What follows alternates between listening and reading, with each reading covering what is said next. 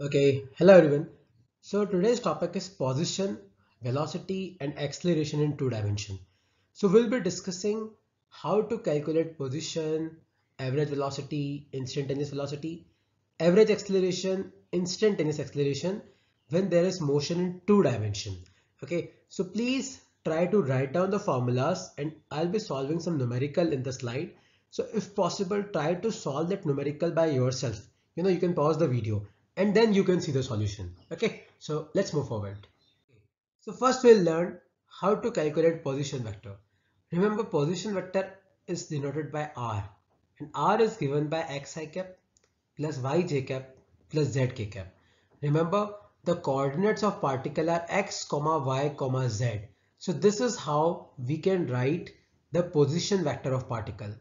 And suppose the x coordinate is given by t square. This is an example and y coordinate is given by t cube, then we can write the position vector to be equal to t square i cap plus t cube j cap. Now if you will see the position of particles depending on time. Okay, so if I'll ask you what will be the position at time equal to 2 second. So time equal to 2 second the position will be given by at t you have just to put 2. So 2 square i cap plus 2 cube j cap. So 4 i cap plus 8 j cap. So the particle is only moving in xy plane because z coordinate is 0.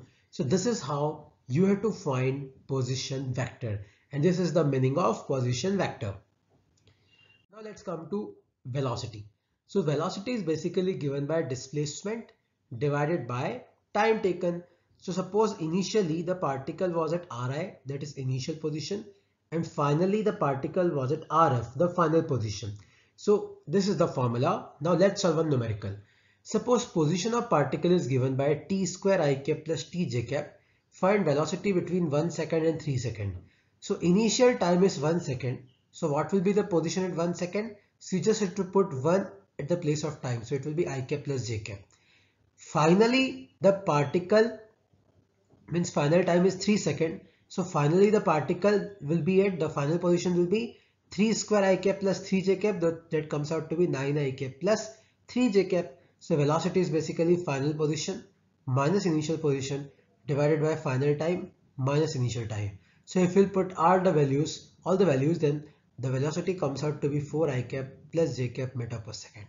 So this is how you have to find out average velocity. Similarly, we can also find out instantaneous velocity.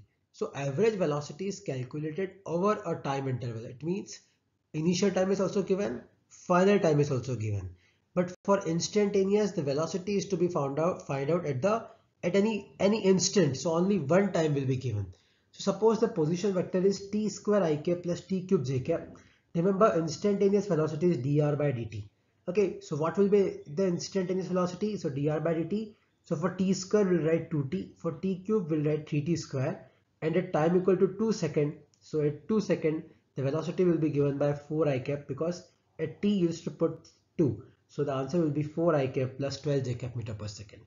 So this is how you have to calculate instantaneous velocity. Similarly, acceleration is given by final velocity minus initial velocity divided by final time minus initial time. So if velocity is t square i cap plus 4 j cap, find average velocity between 1 second and 4 second. So initial time is 1 second and initial velocity if we put 1 on the place of t will get i cap plus 4 j cap. Similarly, final time is 4 second. So final velocity will be 4 square i cap plus 4 j cap. That is 16 i cap plus 4 j cap. So acceleration will be final velocity minus initial velocity divided by final time minus initial time. You just have to put all the values and the answer will come out to be 5 i cap meter per second. Please write down all these questions in your copy and all these formulas in your copy. Okay, now let's come to the final topic that is instantaneous acceleration. So instantaneous acceleration will be given by dv by dt. Remember when only one time is given like in this question if v is this find acceleration at 2 second.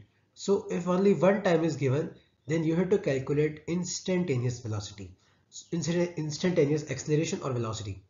So acceleration is basically dv by dt. So if you differentiate velocity differentiation of 2t will be 2 and t square will be 2t. So 2 i cap plus 2t j cap. At the place of t you to put 2 so answer comes comes out to be 2 i cap plus 4 j cap meter per second square.